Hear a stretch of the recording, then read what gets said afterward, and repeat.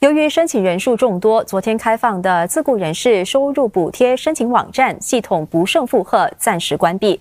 执总秘书长兼总理公署部长王志明指出，合格者将得到全部三次的补贴。他也为延误的事向申请者道歉。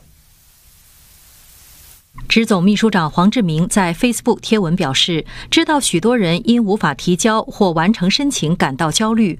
部长向正在申请或提出上诉的合格自雇人士保证，无论是申请或提出上诉，都不会因为提交的日期而影响得到补贴的次数。只要合格，就能得到分三次发放的补贴。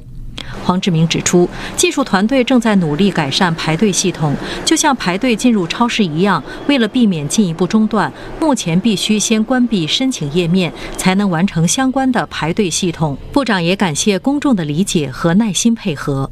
副总理王瑞杰在附加预算案中宣布设立的自雇人士收入补贴计划，预计将让十万名自雇人士受惠。